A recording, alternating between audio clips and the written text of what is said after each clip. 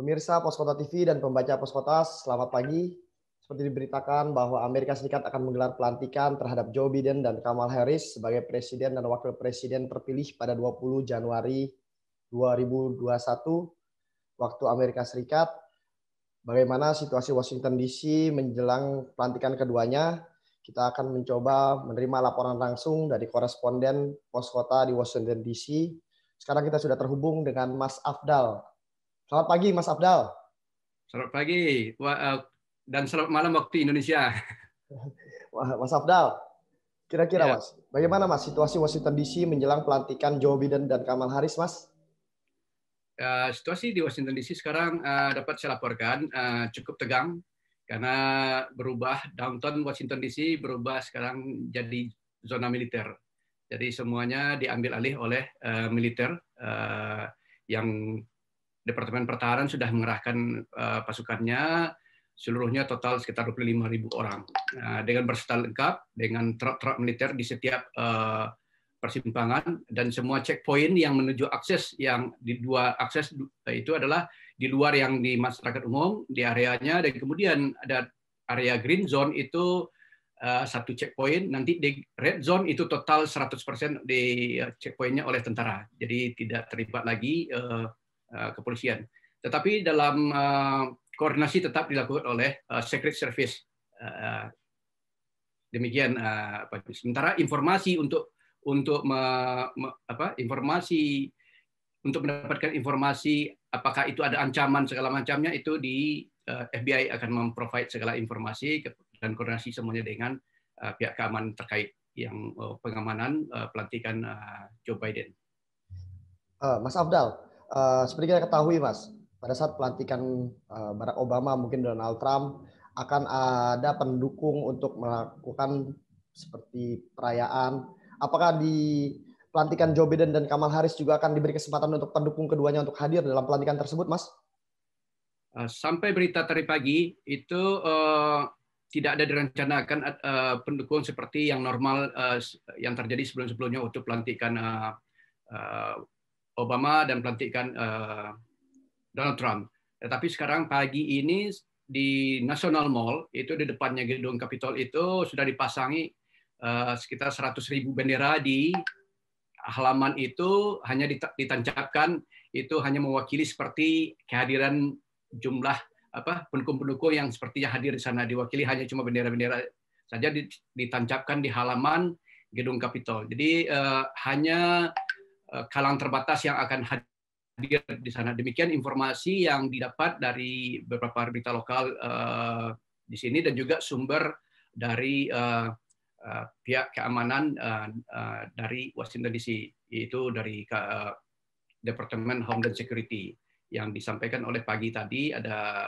press conference-nya oleh uh, Christopher uh, Request itu dia menyatakan bahwa tidak ada uh, pengerahan massa seperti sebelum-sebelumnya. Artinya memang berbeda di pelantikan Joe Biden kali ini bahwa tidak akan ada massa untuk ikut dalam merayakan pelantikan uh, Joe Biden, Mas. Benar, uh, tapi mereka akan broadcast di, di sosial media atau TV semuanya meliput. Jadi uh, diharapkan hanya menonton dari rumah Demikian uh, di berita yang disampaikan uh, pagi ini, yang itu diliput juga beberapa media, bahwa terlihat sekali bahwa cuma bendera-bendera saja yang ditancapkan di lapangan itu memenuhi perayaan dari uh, pelantikan uh, Joe Biden. Sejauh ini, Mas, apakah ada ancaman untuk ada aksi penolakan seperti yang terjadi di depan Kapitol tempo hari, Mas, terkait saat pelantikan ini, Mas? Apakah sudah ada informasi tersebut? ancaman itu berdasarkan informasi pagi ini yang dirilis oleh Washington Post juga dan juga di eh, MSNBC News juga menyatakan yang baru diwawancara juga dari pihak keamanan uh, terkait menyatakan bahwa ancaman itu tetap ada. Jadi uh, mereka sudah meng, apa, uh, Homeland Security mengatakan bahwa ancaman dari white supremacy atau dan milisi sipil ini dia bilang tidak akan hilang dan kita akan hidup dalam ini. Jadi pihak keamanan ini akan berada di di tempat ini dengan waktu tertentu. Jadi disesuaikan. Jadi dibilang ancaman ini ada. Jadi karena dengan walaupun ada peningkatan sekarang ada pihak pengamanan ini bukan berarti uh, ancaman ini akan berkurang. Karena yang uh, kelompok ekstrim itu yang katakan disebutnya mereka adalah domestic teroris itu masih tetap ada dan dia akan kita akan hidup dalam dalam uh, ancaman ini. ini. Ini akan menjadi uh, perhatian sangat besar oleh Departemen uh, Home dan Security-nya Amerika. Ini baru mereka juga menyatakan seperti itu pagi ini. Jadi tidak serta merta walaupun ini pengamanan ini ketat di semua kantor DPR Amerika yang ada di, di setiap negara bagian itu sudah jaga oleh juga uh, tentara nasionalnya mereka. Uh, mereka juga menyatakan mereka akan hidup dengan kondisi seperti ini dalam waktu tertentu ini. Mas, sejauh ini Mas, adakah dari uh, adakah seruan dari Joe Biden atau Kamala Harris kepada pendukungnya untuk tidak ikut atau berpesta melakukan perayaan pelantikan keduanya, Mas? Uh, sampai ini belum ada dia menghimbau untuk itu, tapi uh, dalam uh, ini dua jam ke depan Biden akan menyampaikan dia dalam perjalanannya menuju Washington DC dari uh, Eh, tempat negara tempat uh, uh, Joe Biden uh, apa berdomisili yaitu dari Delaware. Uh, hari ini dia akan menuju ke Washington DC.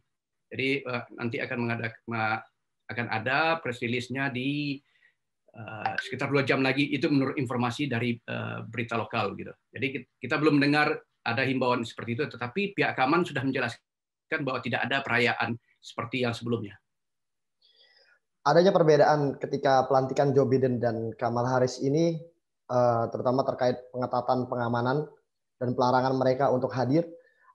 kira kira-kira, Mas, bagaimana tanggapan warga Amerika Amerika Serikat sendiri, Mas, atas kondisi seperti ini, Mas?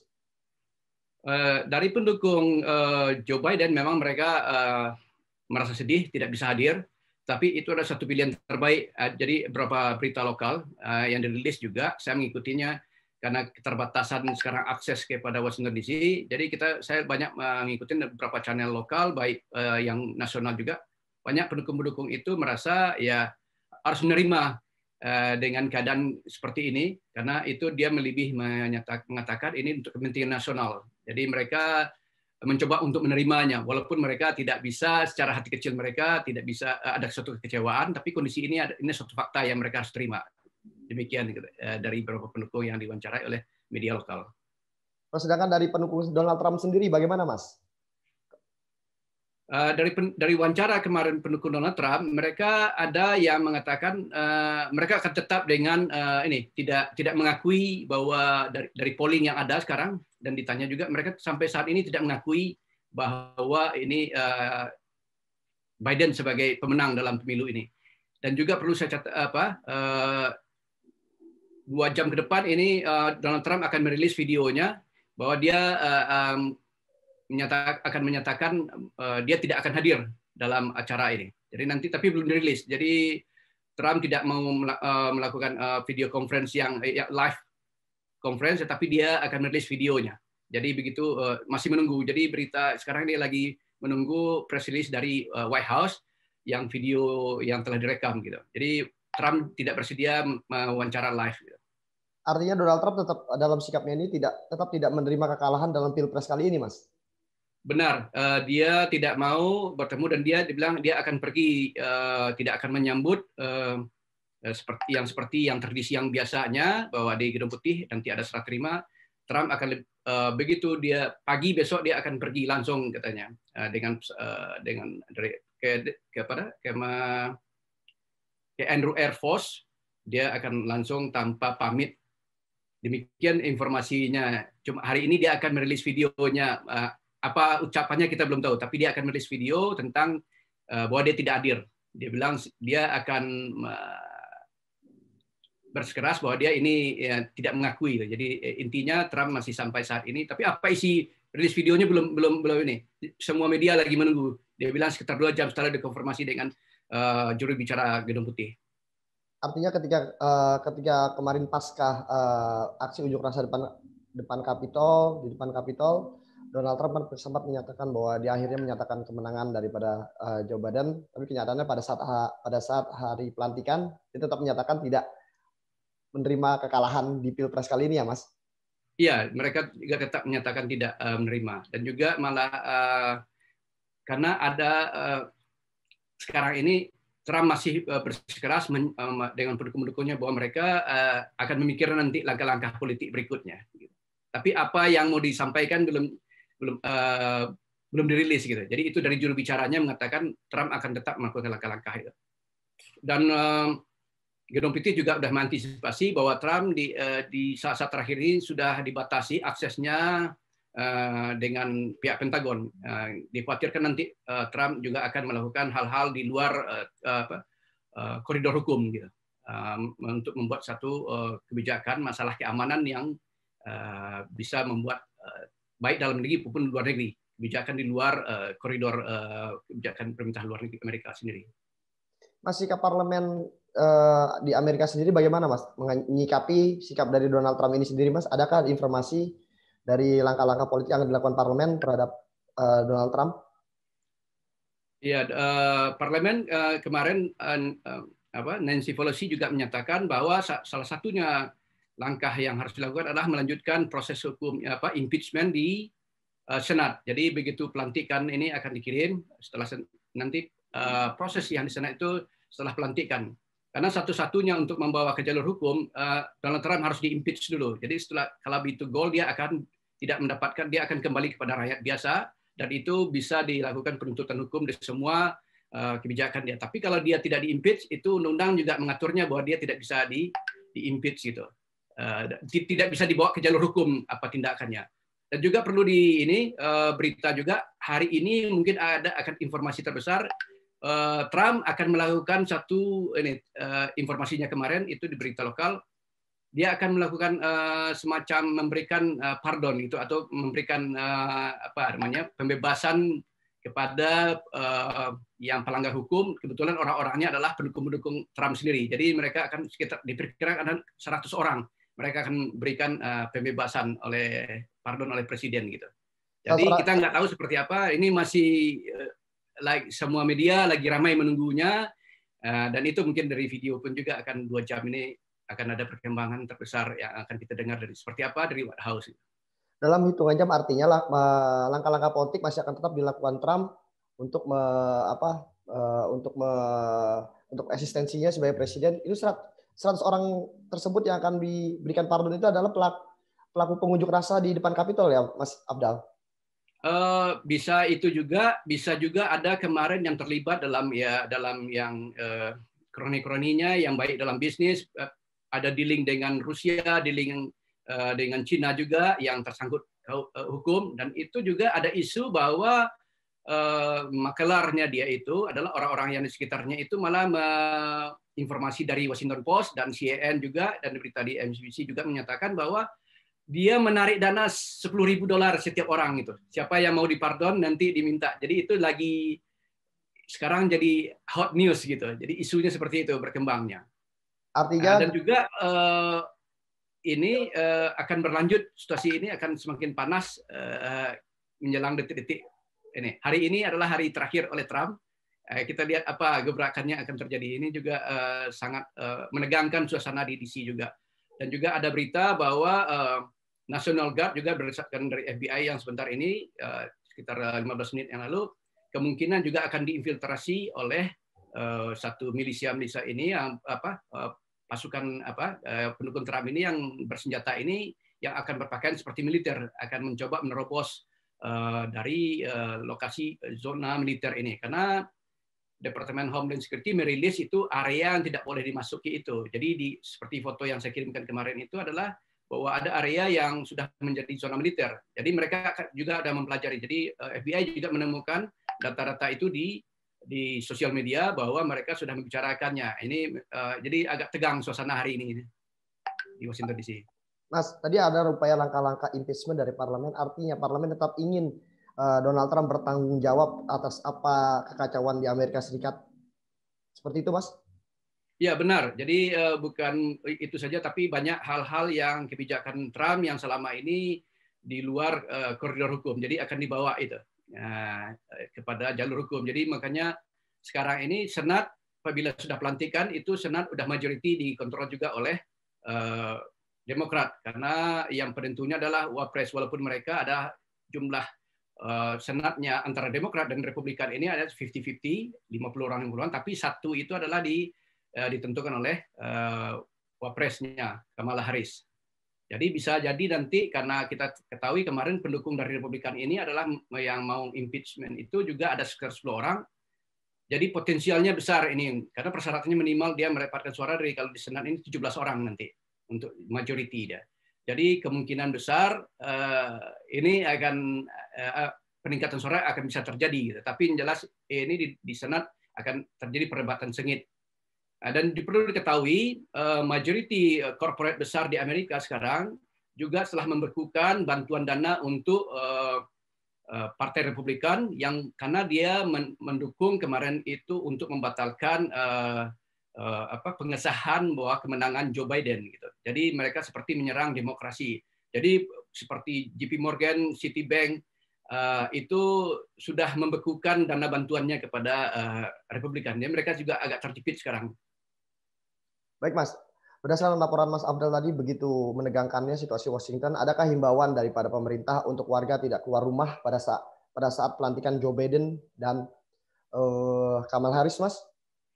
Benar, uh, pemerintah lokal Washington DC dan juga yang di sekitarnya berdekatan juga pagi ini uh, wali kota juga mengimbau setiap warga yang tidak berkepenting diharapkan tidak menuju uh, tidak datang ke Washington DC. Kalaupun ada uh, uh, masyarakat yang di sekitarnya itu dimohon hari ini untuk uh, uh, menyelesaikan keperluannya, apakah itu uh, belanja apa segala macam yang berada di sekitar Washington DC un untuk memenuhi uh, apa membeli kebutuhan-kebutuhan hariannya paling tidak untuk satu hari dua hari ini. Jadi karena besok itu sudah mulai sore ini sudah tertutup semuanya. Kalau kemarin masih ada akses sedikit, masih bisa di green zone itu masih boleh, sekarang kalau mulai jam 6 sore ini tidak ada lagi, sudah tertutup 100%. Artinya pelantikan akan uh, dilakukan tertutup ya Mas ya? Seperti kita tahu ya bahwa sebelumnya uh, Barack Obama, Donald Trump, pelantikan dilakukan di ruang terbuka, tapi untuk Joe Biden dan Kamala Harris akan akan dilakukan secara tertutup. Mas Abdal? Uh, tetap dilakukan di depan gedung uh, Capitol, tetapi area itu adalah area tertutup gitu. Dilakukan karena sudah dijadikan uh, yang sekitar uh, eh, 500 meter lebih ya, atau 500 lebih itu sudah menjadi zona militer dan itu berlapis tiga. Jadi tidak bisa didekatin oleh eh, orang-orang yang tidak masuk bagian dari uh, yang ikut dalam acara itu. Jadi memang sangat terbatas sekali dan itu sudah disteril tempat itu ya, dari kemarin. Yang zona merah itu yang jadi yang dikuasai oleh sekarang oleh National Guard. Itu tidak ada lagi yang bisa masuk ke sana kecuali itu yang pihak yang berkepentingan. Walaupun polisi sendiri juga harus ada uh, berlapis checkpointnya. Jadi uh, demikian ya, informasi yang di depan itu untuk di depan gedung Kapitol itu sudah dipasangi bendera-bendera saja yang ditancapkan di lapangan seperti kelihatan bahwa itu adalah statis dari pendukung-pendukung yang menghadiri uh, upacara pelantikan seperti tahun-tahun sebelumnya. Jadi hanya statif ditanamkan cuma bendera-bendera saja. Demikian Mas Ulul.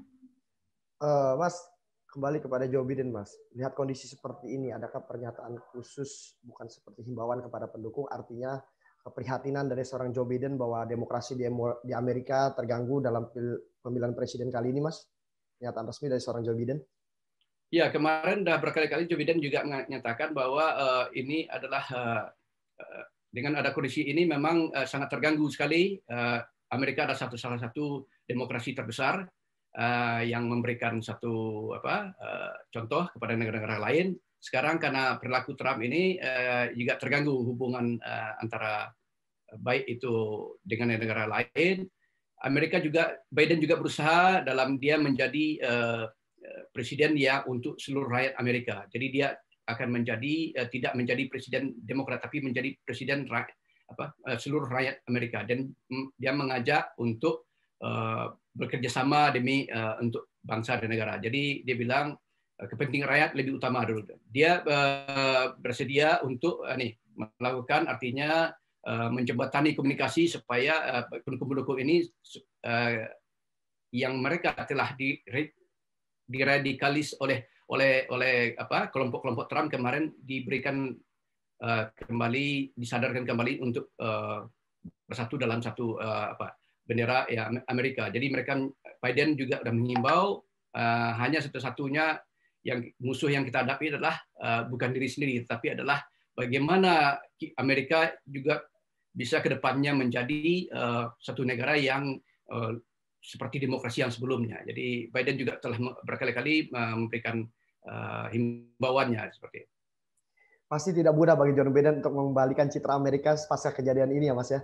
Mas terakhir Mas, uh, adakah himbauan dari KBRI kepada warga negara Indonesia yang ada di Washington DC khususnya untuk uh, berdiam diri atau peringatan-peringatan seperti apa yang dikeluarkan KBRI terhadap warga Indonesia di sana, Mas?